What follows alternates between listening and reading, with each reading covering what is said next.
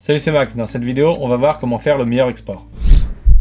Alors le mieux pour comprendre cette vidéo c'est d'avoir vu celle sur les codecs que j'ai fait avant, que tu peux trouver dans le i, celle sur les euh, résolutions et celle sur les warpers ou les containers. Donc une fois que tu as vu ces vidéos là, tu seras euh, en capacité de comprendre celle-ci beaucoup plus facilement et donc euh, elle aura un vrai intérêt. Je sais que la technique pure et les trucs un peu comme ça, c'est pas la tasse de thé de tout le monde, mais c'est des trucs que tu as besoin de comprendre si tu veux pouvoir faire les choses parce que je pourrais très bien te dire, bon, bah si tu veux le meilleur export, tu fais ça, ça, ça.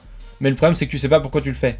Et au final, si tu sais pas pourquoi tu le fais, euh, le jour où ça va changer, ou alors où tu fais avec une nouvelle caméra ou autre, et eh ben tu te retrouves à euh, me reposer la question parce que tu sais toujours pas pourquoi tu fais ça. Donc moi ce que je veux c'est que tu saches pourquoi tu fais ça. Pour que toutes ces histoires de format, de codec, de résolution, de, de, tout ça, ce soit facile à comprendre et pas galère et trop hardcore, euh, on va faire un exemple concret. Mais d'abord, on va voir les deux cas de figure dans lesquels on peut se retrouver quand on vient de récupérer nos rushs que ce soit d'un tournage professionnel, euh, d'une Alexa, d'une Red, d'une Blackmagic, de ce que tu veux, ou que ce soit de ton 550D, ou de ton A7S2, ou de ton GH4. Bref, une fois que tu as récupéré tes rushs, qu'est-ce qui se passe? Cas de figure numéro 1. Tu as tes rushs, tu les récupères, c'est des rushs en 4K, en H264 qui viennent d'un GH4 par exemple, et tu les mets dans ton logiciel de montage, et là tu peux monter. T'as pas de souci pour monter, tu mets les pistes les unes sur les autres, tu fais des effets, tu fais des trucs, il y a pas de souci. À ce moment-là, tu vas monter avec ces roches-là. Tu vas pas te prendre la tête à essayer de faire des conversions, des transcodes, des machins. Donc tu montes avec ces roches-là. Et quand tu fais ton export, comme tu as fait ton montage avec tes roches d'origine, euh, bah, ce sera dans la qualité la plus optimale pour ton export. Donc après, les réglages d'export, on verra ça plus à la fin de la vidéo.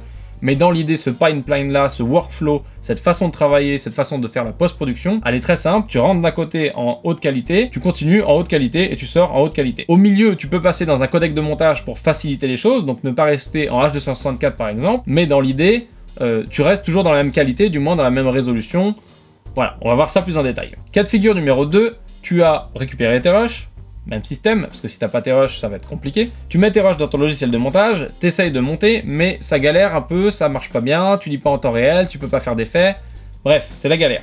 Donc on va admettre que déjà, c'est pas ton ordinateur qui est trop pourri, il est pas assez puissant, mais il est pas trop pourri au point de pas pouvoir monter du tout, même avec des rushs dégradés.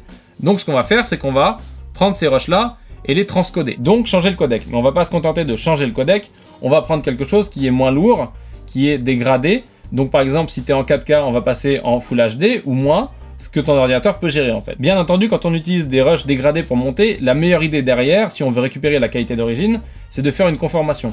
Donc on a vu dans d'autres vidéos que la conformation elle était facilitée avec des fonctions intégrées au logiciel, comme les médias optimisés dans DaVinci, comme les fonctions pareilles de médias optimisés euh, ou de proxy dans Premiere, dans les dernières versions de Premiere. Tu as plusieurs solutions qui sont intégrées au logiciel mais si tu veux pas utiliser la solution qui est intégrée au logiciel, c'est pareil, j'ai fait d'autres vidéos. Tout ça, c'est dans le i, et donc tu peux aller voir ça où c'est de la pure pratique avec un peu de théorie et je t'explique comment t'en sortir de ce bazar. Voilà pour le minuscule point théorique, maintenant on va faire un cas pratique avec des exemples, un petit schéma interactif live euh, After Effects in Real Life. Tout ça bien entendu en répondant à la question euh, quel, est le, meilleur, le meilleur réglage d'export?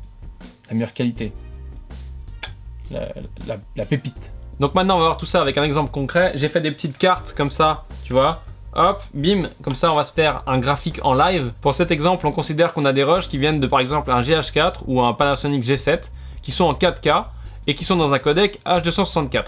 Emballés dans un conteneur ou un warper.move. Donc maintenant pour pouvoir suivre et savoir où on en est de la qualité de nos images, ce qu'il faut prendre en compte c'est le codec, le warper, la résolution et le nombre de mégabits par seconde parce que ça représente la quantité d'informations qui est contenue dans le fichier par seconde de vidéo, donc son poids et donc c'est assez logique, plus il y a de mégabits par seconde, plus le fichier est lourd, plus il est lourd, de meilleure qualité il est. Donc nous on a du H264 qui est en UHD, donc 4K UHD, 3840 par 2160. Et donc à ce moment-là, pour connaître le nombre de mégabits, je suis allé dans un petit logiciel qui s'appelle Media Info. Et donc ce qu'il faut faire, c'est chercher les infos et voir le nombre de mégabits par seconde. Ça s'affiche comme ça sur QuickTime et comme ça sur Media Info.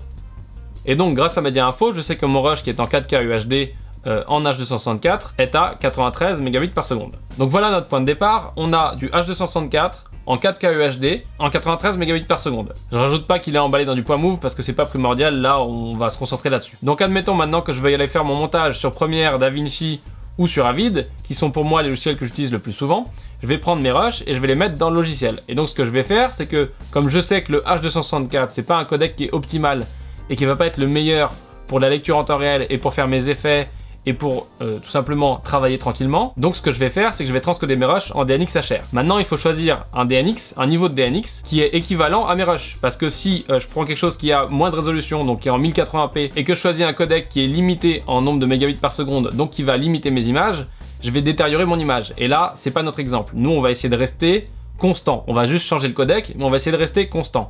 Donc ce qu'on va faire, c'est qu'on va prendre du DNX HR, qui est en 4K UHD, et qui est à 152 mégabits par seconde. Donc ce que je vais faire, c'est que je vais prendre du DNX HR LB, qui est le plus bas. Il y a le SQ au-dessus, après le HQ et après le HQX. Mais nous, on va rester sur celui-ci, puisque c'est celui-ci qui a le nombre de mégabits par seconde le plus proche de celui d'origine. Si maintenant on regarde de plus près notre petit schéma interactif euh, After Effects in Real Life, ici on passe du H264 comme codec au DNX HR, donc là ça va.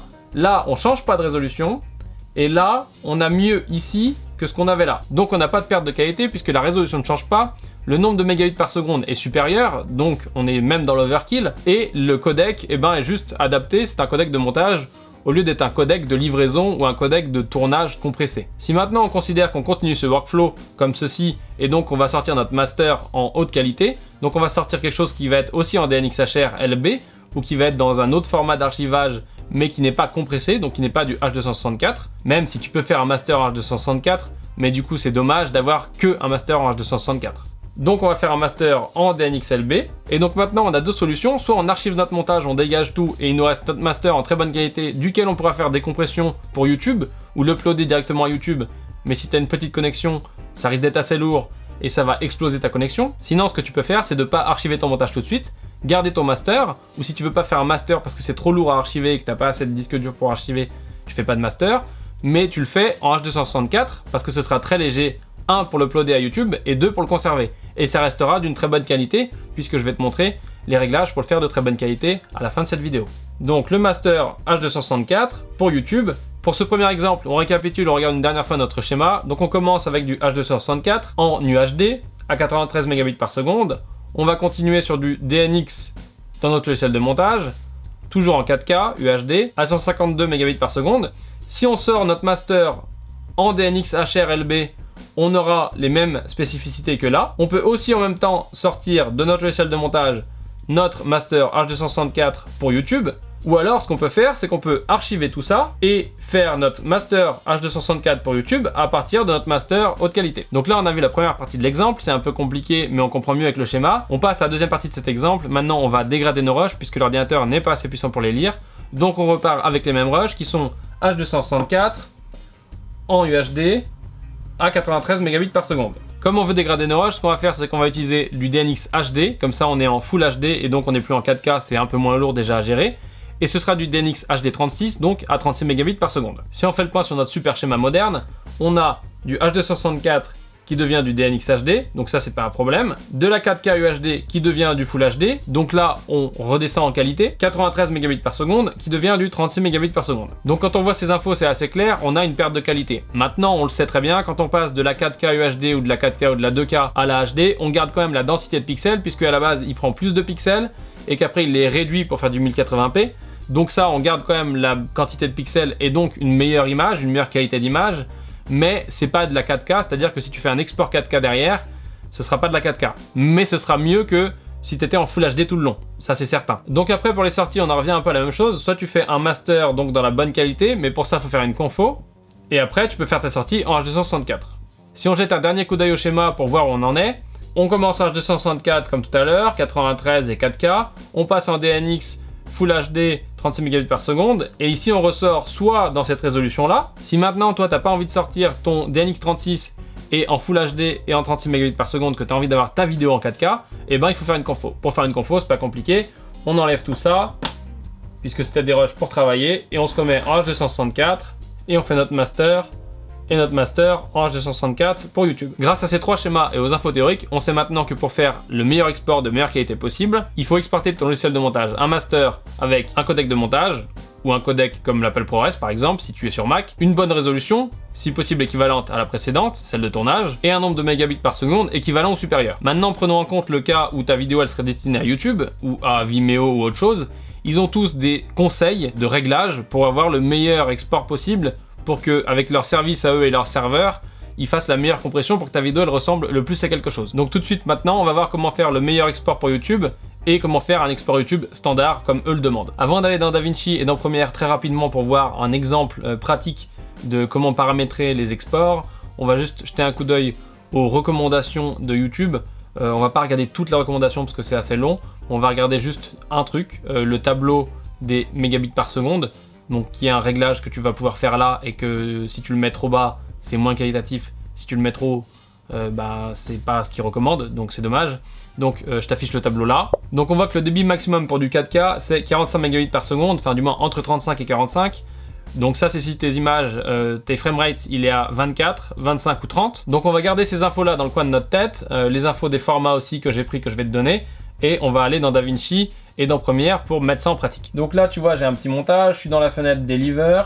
Et ici tu as déjà pré-réglé un preset YouTube. Donc selon si ta vidéo elle est en 720p, aller en 1080p ou aller en 2060p, donc en 4K. Donc maintenant qu'on a activé le preset qui a été fait par les gens de DaVinci, le preset YouTube, on va regarder les spécificités. Donc ici on est en QuickTime, donc ça c'est le container. Ici, le codec, c'est du H264, donc ça c'est très bien parce que c'est ce qu'on veut pour diffuser sur YouTube. Ensuite, notre résolution, c'est de l'Ultra HD, donc ça c'est nickel, c'est ce qu'on avait déjà. Ici, on a un framerate qui est de 25. C'est ce que j'ai sur mes rushs d'origine. Le framerate, il ne doit pas changer, donc c'est très bien. Ensuite, ici, on a la qualité. Donc, tu peux la mettre en automatique. Mais là, il va faire un peu ce qu'il veut. Pour la qualité, l'autre solution, si tu veux pas être en automatique, c'est de faire un restrict to. Donc, lui, il va limiter le nombre de mégabits par seconde à euh, ta restriction. Donc ici, nous, on va rester en restriction. Et on sait que comme on est en UHD, on peut aller jusqu'à 45 mégabits par seconde. Donc, on va aller au moins jusqu'à 45.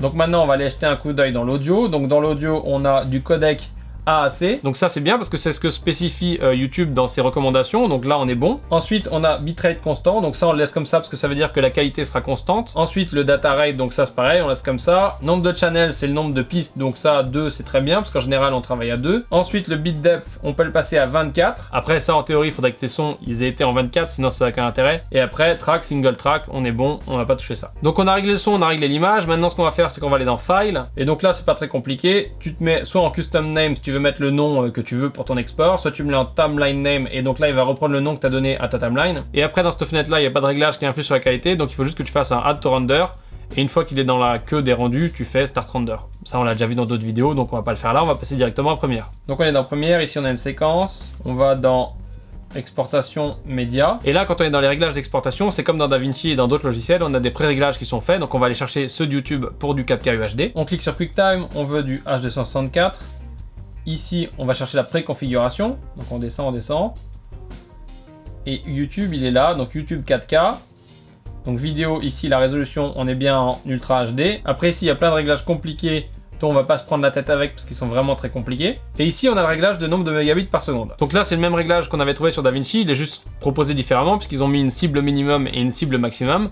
Et donc nous, on va faire notre réglage euh, comme on le souhaite dans, euh, comme on a fait dans DaVinci. On va commencer par changer un réglage. Ici, on est en VBR, donc Variable Bitrate. On va passer en CBR. Ici, on va se mettre à 45. Si on continue ici, on peut cliquer sur utiliser la qualité de rendu maximale. Donc après, on va dans audio. Là, on est bien en AAC, on est bien à 48. Donc pour l'audio sur YouTube, on peut uploader en 48 ou en 96. Mais si ton échantillonnage à la base, il a été fait en 48, ça sert à rien que tu le sortes à 96, euh, puisqu'il y a quand même vachement de chances que tu pas du tout fait en 96. Donc euh, fais-le en 48. Qualité supérieure, c'est bien. Là, on est à 320 kilobits par seconde, comme on était dans DaVinci, donc c'est pas mal aussi. Une fois que tu as fait tous ces réglages qui sont basés sur un pré-réglage, tu peux faire ton export. Et donc là, tu as le meilleur export possible pour YouTube en tout cas. Donc ça c'est pour YouTube, après si tu veux faire tes propres pré-réglages pour avoir des masters de qualité comme on disait tout à l'heure, donc tu fais tes réglages personnalisés avec du DNX HR si tu en haute résolution, avec du DNX HD si tu en Full HD, euh, maximum. Euh, et donc tu peux faire tes propres réglages comme ça qui seront programmés et tu n'auras plus qu'à euh, faire ton export. Donc tu as déjà toutes ces infos. Si tu veux plus d'infos sur les codecs, comment faire ton propre pré-réglage et tout ça, tu peux aller voir mon article sur le site où je te donne plein d'infos sur les différents mégabits par seconde, les différents codecs, les différents niveaux, parce qu'il y a plusieurs DNX HD, il y a plusieurs DNX HR. Donc tout ça c'est sur l'article qui est en lien dans la description. Merci d'avoir regardé cette vidéo, j'espère que comme d'habitude c'était compréhensible, même si celle-ci c'était un peu hardcore, t'as vu c'était un petit titre rouge, un petit bandeau rouge, ça veut dire que c'est un peu plus dur. Et donc du coup, ben euh, voilà, c'était des infos nécessaires que si, si, tu, si tu comprends ça, tu as compris plein de choses et tu peux euh, évoluer euh, et après on pourra faire de la créativité, de la création, des beaux plans, des beaux machins. Mais maintenant que tu sais ça, c'est déjà mieux parti. Merci d'avoir regardé, à plus.